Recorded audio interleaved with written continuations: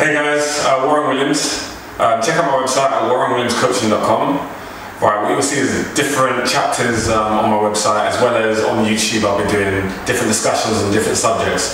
So just check back every so often, you'll see different subjects explained. Today I'm going to talk about what we call chunky aerobic syndrome. This is something that's really important, especially for women to understand. The reason why it's really important for women to understand is because aerobics is a key thing that women focus mainly on. They think that aerobics is the key or the solution to exercise, when it really isn't. Let me explain what I mean.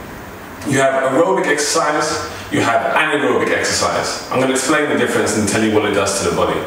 With aerobic exercise, the reason why we call it chunky aerobic syndrome is because of the fact that when you do aerobic exercise, basically your body has two different enzymes, lipolytic and lipogenic enzymes. These enzymes are fat releasing and fat storing enzymes. What happens is when you do aerobic exercise, you're actually increasing the amount of fat storing enzymes in your body. The reason why this happens is because when you do aerobic exercise, think of it like this. Let's say you start running on a treadmill and you can last five minutes. You keep doing it for a year, what will happen is your body becomes better conserving energy to allow you to run for longer. Think about it. In order for you to run a long journey, your body has to conserve energy, not expend it. Whereas you have anaerobic exercise, anaerobic exercise is about expending great amounts of energy in as short time as possible, much like a sprinter what you'll see is a sprinter will run for 10 seconds and be totally, absolutely tired, fatigued at the end because they're expending energy. So when it comes to losing weight, you want to be a fat burner rather than like a, a fat storer. Okay, so with aerobic exercise, your body becomes far better at storing energy rather than releasing it. Remember these two facts. Muscle expends energy, it consumes it. Okay, it uses up lots and lots and lots of energy, whereas fat gives you energy. So if you think about bodybuilders, they are always talking about they have to eat every two hours. The reason why they have to is because they have lots and lots of muscle, which consumes lots of energy. So, what would you rather be in terms of losing weight? Find someone that constantly burns energy or someone that constantly stores it? right, you'd be once someone you know someone that actually burns the energy because that makes it more efficient for you to lose weight. So when people do aerobic exercise, they become better and better at storing energy rather than releasing it. So that way, what they're doing is they're just keeping weight on.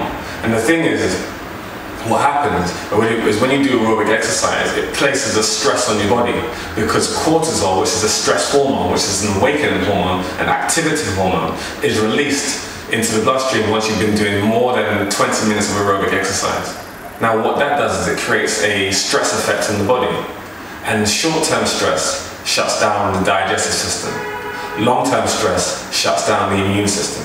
And from an exercise point of view, stress actually affects and breaks down and cannibalizes the muscles. So when you're actually doing aerobic exercise, you're breaking down the muscles as an energy source because your brain says you don't need muscle if you want to do aerobic exercise, if you want to last long, you don't need that muscle.